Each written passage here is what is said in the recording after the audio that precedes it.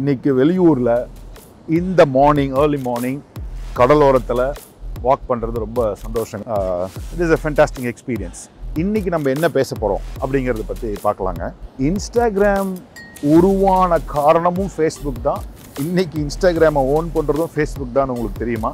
ஈஸியாக ஃபோட்டோவை எடுத்து அதை மாடிஃபை பண்ணி ப்ரொஃபஷ்னலாக மாடிஃபை பண்ணி அது ஈஸியாக இன்டர்நெட்டில் ஷேர் பண்ண முடியும். அவர் என்ன பண்ணுறாரு okay let us do something on our own அப்படின்னு சொல்லிட்டு ஒரு முடிவு பண்ணிவிட்டு இன்ஸ்டன்ட் ப்ளஸ் டெலகிராமை தூக்கி கம்பைன் பண்ணி இன்ஸ்டாகிராம்னு அவங்க வச்சு முதல் நாள் இருபத்தஞ்சாயிரம் பேர் டவுன்லோடு இன்னைக்கு வரைக்கும் அந்த டவுன்லோட் நிற்கவே இல்லைங்க.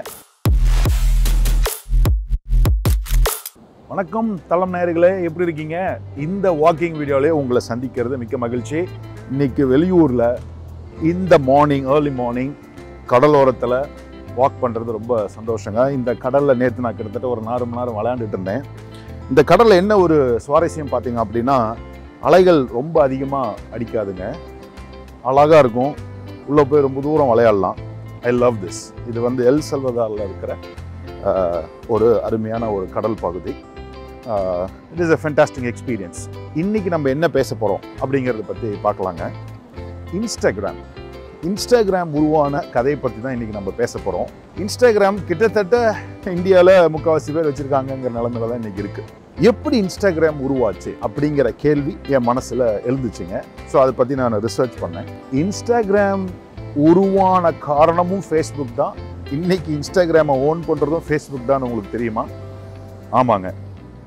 ஃபேஸ்புக் தான் அதனுடைய ஆரம்ப பகுதி. எப்படி சொல்கிறேன்னு கேட்குறீங்களா அதாவது இன்ஸ்டாகிராமோட ஃபவுண்டர் பேர் வந்து கெவின். இன்ஸ்டாகிராம் ஆரம்பித்த முதல் நாள் அவருக்கு இருபத்தி அஞ்சாயிரம் பேர் டவுன்லோட் பண்ணாங்க.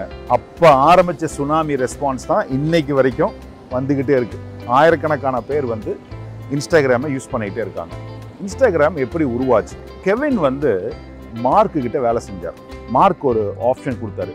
எனக்கு ஃபேஸ்புக்கில் இந்த ஃபோட்டோ டவுன்லோட் பண்ணி ஃபோட்டோவெல்லாம் அவங்க அப்படி நல்லபடி இம்ப்ரூவ் பண்ணி ஃபேஸ்புக்கில் அப்லோட் பண்ணுறதுக்கு ஒரு ப்ராஜெக்ட் இருக்குது நீங்கள் செய்கிறீங்களா அப்படின்னு சொல்லி கெவனை மார்க் சுக்கரபர்ட் கேட்டார். அப்போ கெவன் உடைய கன்சல்டன்ட் வந்து ஃபேஸ்புக்கெலாம் பெரிய கம்பெனிலாம் வராது. உன் வாழ்க்கையை வேஸ்ட் பண்ணாத. நீ போய் உன் புழப்பப்பாரு அப்படின்னு சொல்லி அமுச்சு விட்டார். அப்போ ஒரு பெரிய வாய்ப்பை இழந்தார் கெவன்.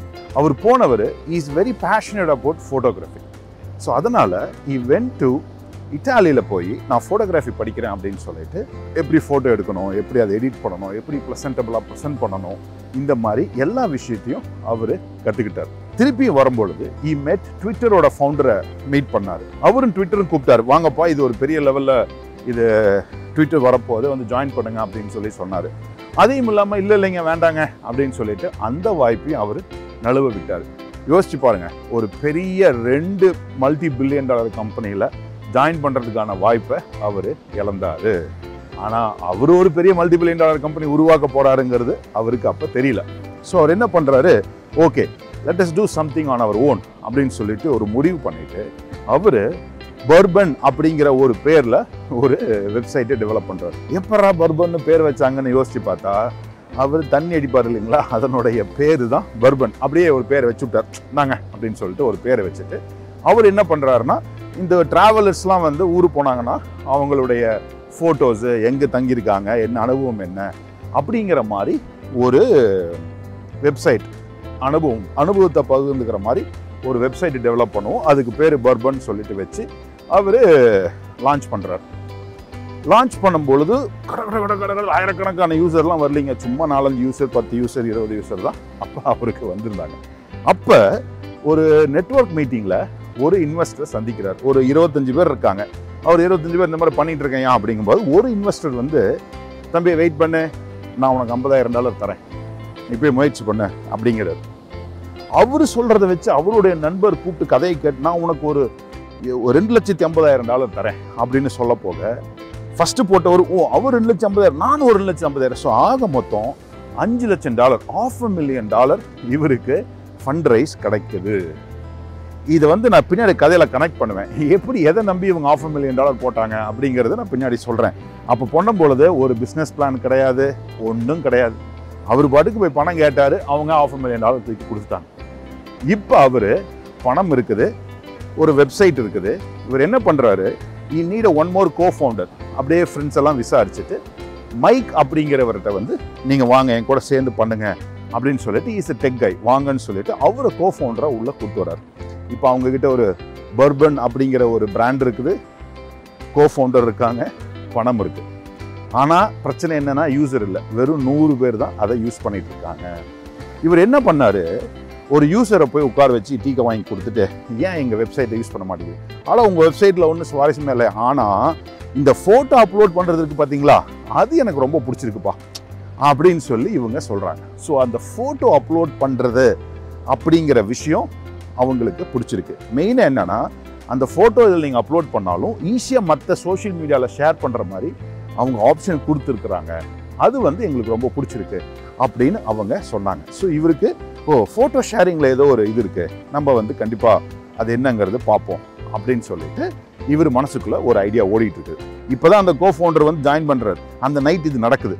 அப்புறம் இவர் என்ன பண்ணுறாரு அவருடைய கேர்ள் ஃப்ரெண்டு கிட்ட போய் இந்த மாதிரி வந்து சொல்கிறாரு அம்மா இந்த மாதிரி நினைக்கிறிய என்ன பண்ணுற பாரு அப்படின்னு சொல்லிட்டு. அந்த பொண்ணு என்ன சொல்லுதுன்னா அட போங்கப்பா நான்லாம் அவ்வளோ நல்லா இருக்க மாட்டேன் ஃபோட்டோவில் மற்ற பெண்கள் மாதிரி நான் அவ்வளோ அட்ராக்டிவெலாம் இருக்க மாட்டேங்க அப்படின்னு அவங்க சொல்ல போக அவர் இல்லைப்பா இது ஒரு பிரச்சனையும் கிடையாது. இங்கே பாரு ஃபில்டர் தூக்கி போட்டேன்னா எல்லாமே நம்ம நல்லா தெரிவாங்க. It can be easily made it as a professional photograph அப்படிங்கிறாரு. அந்த பொண்ணு ஓ அப்படியா? அப்போனா உன்னுடைய வெப்சைட்டில் ஏன் இந்த மாதிரி ஃபங்க்ஷன் கொடுக்கக்கூடாது?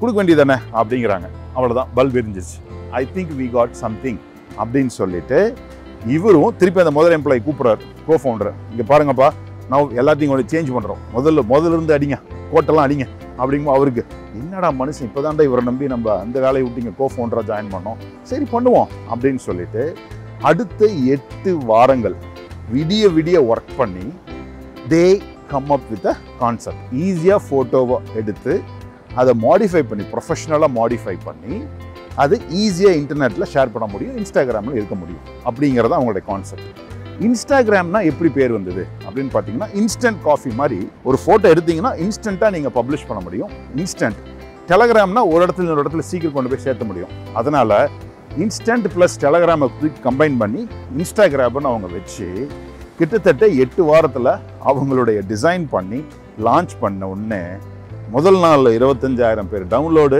இன்னைக்கு வரைக்கும் அந்த டவுன்லோட் நிற்கவே இல்லைங்க. குளு குழு குழு குழு குழு குளு குளுன்னு போய்கிட்டே இருக்குது.